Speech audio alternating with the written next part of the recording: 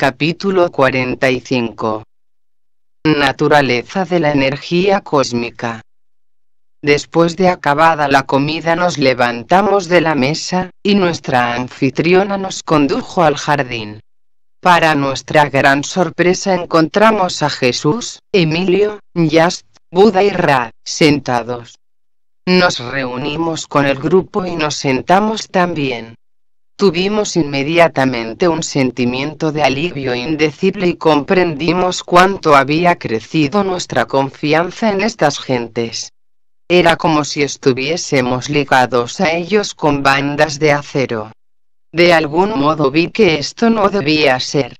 Era necesario para nosotros jugar una definida parte en el gran esquema de la vida, con objeto de no llegar a ser meros títeres.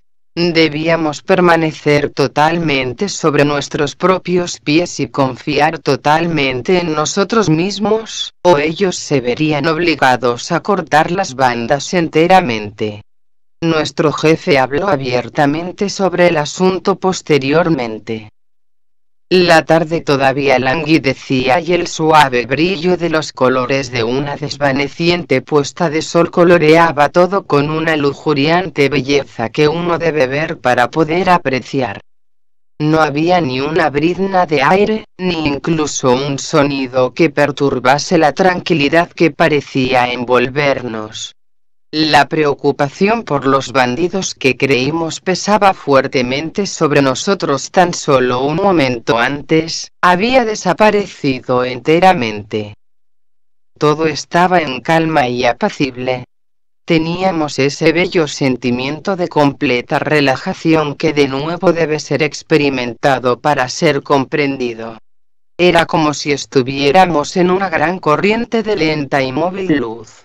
Llegamos a estar repentinamente conscientes de haber oído la voz de Jesús, pero no en palabras. Mi única explicación es que era una pura, rítmica, fluyente, vibratoria influencia que nos llegaba en forma de pensamiento en lugar de palabras. El efecto era mucho más pronunciado que el de las palabras. Y su ritmo y cadencia están más allá de toda descripción. Los pensamientos parecían inundarnos y alojarse en nosotros. Esta era una entera y nueva experiencia. Cuando estas ideas llegaron, las tradujimos en caracteres taquigráficos, después las pasamos a palabras y frases, y más tarde las sometimos a estas gentes para contrastarlas, y obtener su aprobación. He aquí algunas, cuando yo digo, he aquí el Cristo de Dios, yo veo el Dios hombre que se presenta. Veo este cuerpo como el verdadero templo de Dios, el perfecto instrumento o canal a través del cual el gran principio creativo fluye y se manifiesta libremente. Entonces esta creación es pura en imagen, en forma y en semejanza. I am, yo soy, Dios. En esta actitud me manifiesto como maestro de toda situación, el Cristo de Dios triunfante. Es este ideal que yo adoro, y eso que adoro lo manifiesto. Yo no puedo en ningún modo manifestar a Dios si el I am, yo soy, no presenta a Dios a toda la humanidad. En esta actitud el hombre permanece como maestro de toda situación. El Cristo es triunfante, conquistador, Dios y el hombre caminan mano en mano, uno. Hay tan solo un principio, un hombre. Uno de nuestro grupo quedó pensativo por un momento y entonces preguntó, ¿cómo podemos nosotros manifestar esta luz y hacer uso práctico de ella? La respuesta llegó, permitid que vuestro cuerpo llegue a ser un generador a través del cual este gran principio creativo y radiador fluya. Ved este principio como la emanación de todo poder. Entonces, igual a un generador eléctrico, vuestro cuerpo recogerá y multiplicará esta energía hasta que la enviéis al exterior como una corriente de pura blanca luz que nada puede resistir, y cuanto sea enviado contra vosotros no podrá dañaros. Vosotros podéis también enviar tal intensos impulsos de energía eléctrica sobre estos rayos de luz que el cuerpo de alguien que intente dañaros será destruido. Cualquier resistencia a esta energía inmediatamente multiplicará su volumen y por tanto su velocidad. Quien ofrezca resistencia contra ella, o intente oponerle su voluntad personal solo se dañará a sí mismo. Si alguien no le opone ninguna resistencia a esta luz, ella derramará su bálsamo creador sobre él, lo mismo que lo hace sobre vosotros es el puro rayo y poder de Dios, que se funde con el de otro en todo momento si no hay resistencia a su libre flujo. Vibra con la más alta vibración. Consecuentemente, todos vibran en perfecta armonía y acuerdo y ningún daño puede posiblemente acaecerles a ellos, ya que están unidos con la vibración de Dios. No hay absolutamente nada que pueda dañar a otro a no ser que ese ser se resista a la vibración de Dios. Vibración es vida. ¿No veis cómo permanecéis uno con Dios en todo momento? En esta actitud podría haber una posibilidad de separación. La única separación es la resistencia que causa la desarmonía. Nada puede acercarse a vosotros cuando permanecéis en el monte sagrado, uno con Dios. Este no es un privilegio especial para unos pocos, esto es para todos. I am, yo soy, la gran causa absoluta o fuente en la cual todo hijo permanece uno con Dios. De este modo todos viven bajo la ley, la más alta acción vibratoria del pensamiento. No hay una inarmónica vibración que pueda entrar en esta esfera, este trono, a donde todos pertenecen y están en casa. Este es vuestro reino divino. Vosotros podéis serviros de este poder para devolver los falsos y malos pensamientos y deseos dirigidos contra vosotros.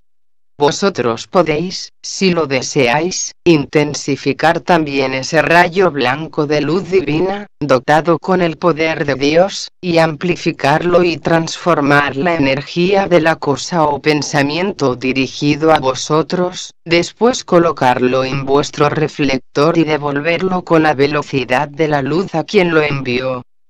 Cuando vosotros devolvéis esto en este modo, es un rayo de pura luz blanca, en lugar de meramente bajas vibraciones, como os fueron enviadas a vosotros.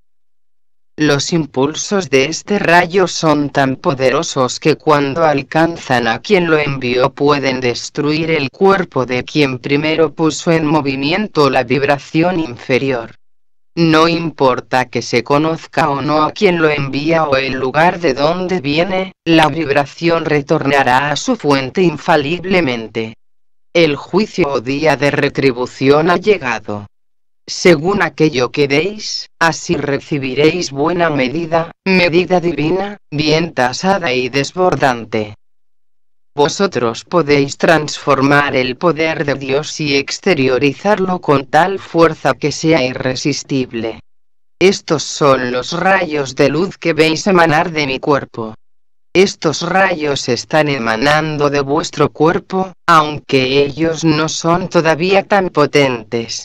Pero a medida que continuéis y uséis este poder, aliado con la ley y el principio, añadiréis potencia a la luz y podréis dirigirla conscientemente a la consecución de cualquier buen deseo. Cuando un artista me representa en Getsemaní, los rayos de luz salen de mi cuerpo en lugar de proceder del cielo hacia mí. La luz es el poder de Dios generado desde dentro de mi cuerpo, después proyectado por mi reflector. Estos rayos salen de cada cuerpo cuando esa persona se manifiesta como Dios en su divina herencia, el Cristo de Dios. Todo uno. Esta es y puede ser la divisa definitiva de toda la humanidad. Puede haber discordia entre hermanos si ellos llegan a ser este todo absorbente uno. Ahora intensificad este rayo blanco que es el rayo de Dios sobre el cual enviáis el poder de Dios. dotadlo con el poder de Dios transformado diez mil o diez millones de veces más grande que el que os fue enviado a vosotros, y que está retornando, esto es según lo decretáis. Después permitidle fluir de vuelta sobre el mismo sendero de la ida.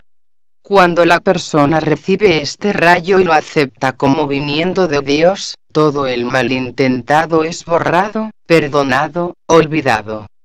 Nada puede llegar a dañaros a vosotros o al emisor del pensamiento dañino. Los dos miráis a Dios a los ojos, uno con él. En lugar de inarmonía hay perfecta armonía, sois de nuevo uno. Si el emisor del pensamiento dañino no acepta el rayo blanco que habéis enviado con toda su potencia, su cuerpo será destruido. Este puro rayo blanco borrará completamente toda vibración de daño o discordia, si se le permite completar su trabajo perfecto. Si se le resiste oponiéndosele, anclado en la resistencia, es llevado a la destrucción irremediablemente.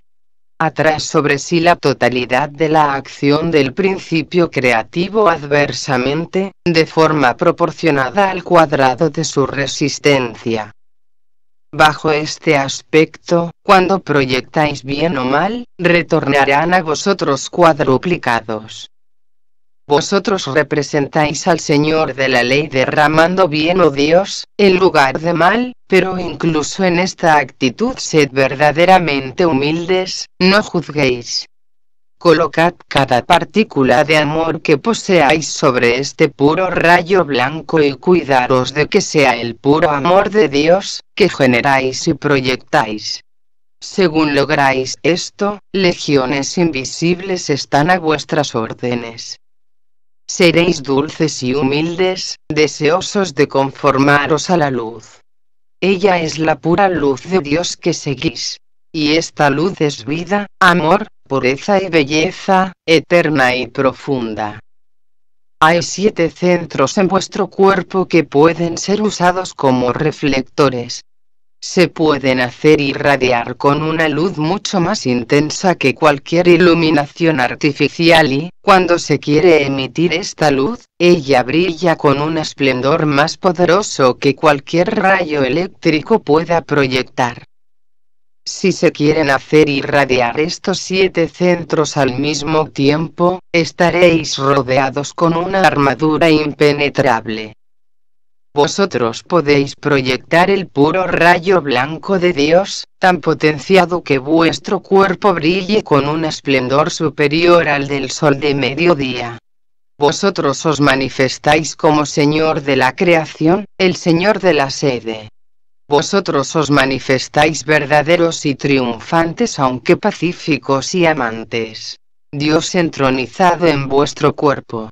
Y ese cuerpo es bello, espiritual y divino.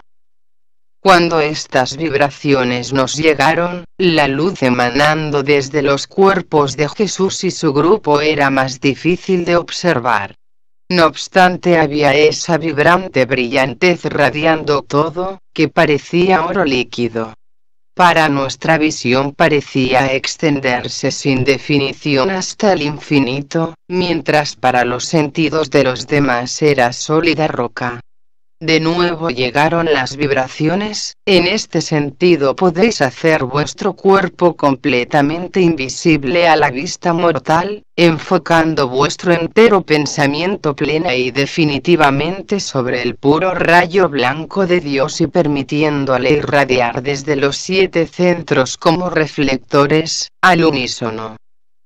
Entonces, de nuevo, uno puede exteriorizarse sobre cualquiera de los rayos y presentar la imagen que se quiera a quienes os deseen dañar.